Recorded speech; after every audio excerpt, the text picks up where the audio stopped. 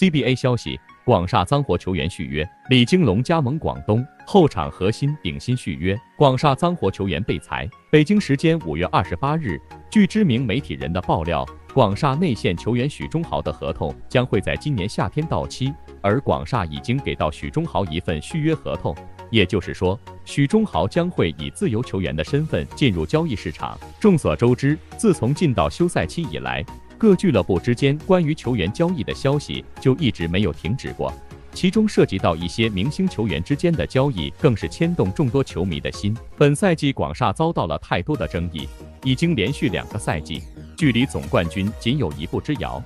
可是到最后却以遗憾收场。据内部人士透露，广厦男篮关于球员续约的工作正在有序的进行当中，而被誉为联盟第一恶汉的许忠豪获得了续约。当初八一解散之后，潜力球员遭到了联盟各俱乐部的哄抢，而广厦选择了天赋并不突出的许忠豪，原因很简单，就是当做胡金秋的替补。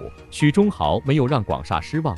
在赛场上，基本都是毫不保留的去防守，再加上二点一二米的身高，往往能取到意想不到的效果。但是联盟中对许忠豪的评价并不高，就是因为此人的动作实在过于野蛮，经常做出一些违反体育精神的举动，给对手造成很大的心理阴影。众所周知，在很多时候是非常需要像许忠豪这样的球员出场的。这也是一直以来许忠豪没有被放弃的原因。李金龙加盟广东。北京时间五月二十八日，前不久有媒体人爆出朱芳雨邀请李春江重回广东男篮的消息，一时间在球迷中引起很大的反响。很多球迷不理解，李春江不是已经被禁止注册教练员了吗？为什么朱芳雨还会再次邀请呢？其实，李春江仅仅是被禁止从事教练员的工作。其他的涉及篮球相关的工作并不会受到影响，而这次加盟广东的职务是技术顾问。据爆料，除了广东男篮向李春江发出邀请之外，深圳男篮同样也希望得到李春江的帮助，但是最终李春江还是选择了挂广东队。至于原因，一个说法是李春江念及与朱芳雨的师徒情，另一说是为了让儿子李金龙能加盟到广东男篮。不管是不是又李春江的暗中牵线搭桥。李金龙目前已经正式被广东男篮签下了。从李金龙在深圳男篮的数据来看，本赛季一共代表深圳男篮出场九次，场均八分钟，能够砍下六分，三分球命中率百分之六十六点七，总体的表现还是不错的。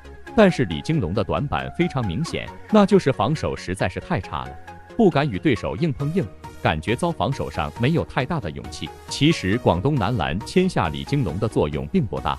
再加上现在广东男篮已经有了一个王新凯，李金龙多少就有些多余了。不过相信在杜峰的指导之下，李金龙的个人能力一定能有所突破。作为一个重要的轮换球员去培养，还是很有价值的。后场核心顶薪续约。北京时间五月二十八日，广东男篮传来一则重磅交易信息。据知名媒体人的爆料，广东男篮后场核心球员赵睿终于获得了一份三年的顶薪合同。赵睿的成功续约，闹得沸沸扬扬的离队风波终于可以告一段落了。众所周知，目前广东男篮仅有任骏飞一人是顶薪球员，顶薪的名额还是非常充裕的。而之所以赵睿被频繁的爆出离队的传闻，最主要的就是对自己的合同并不满意。在上赛季，上海男篮曾以一份顶薪的合同公开向赵睿发出邀请。但是让人意外的是，赵睿依旧是选择和广东男篮续约。很多球迷认为，赵睿虽然想拿到顶薪合同，但是他依旧希望留在广东男篮。在第三阶段的比赛中，据内部人士透露，朱芳雨曾单独和赵睿沟通了很长时间，并承诺在合同到期之后给赵睿顶薪合同。但是对于这件事的真实性一直备受球迷的质疑。如今赵睿顺利拿到顶薪合同，谣言不攻自破。在上赛季，赵睿场均十一点二加三点四的数据对球队的作用还是很大的。但是赵睿的短板非常明显，进攻端表现平平，投篮命中率仅百分之三十，甚至还因为此事被乔尔杰维奇批评过。总之，签下赵睿是意料之中的事。也是广东男篮实现球队阵容补强的重要一环，希望赵睿能担负起顶薪球员的责任。